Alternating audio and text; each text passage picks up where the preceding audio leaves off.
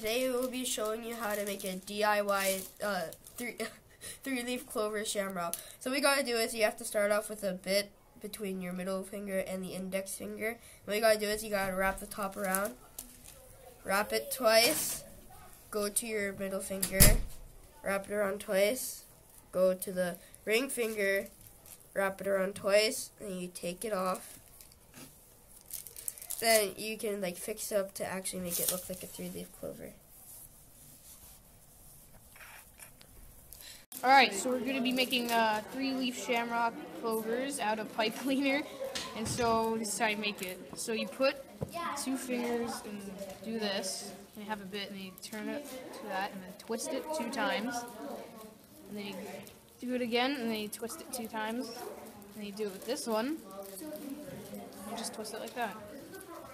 And then it turns out to be like this, but then you just go like that and put it, pull it down. Like that. There you go.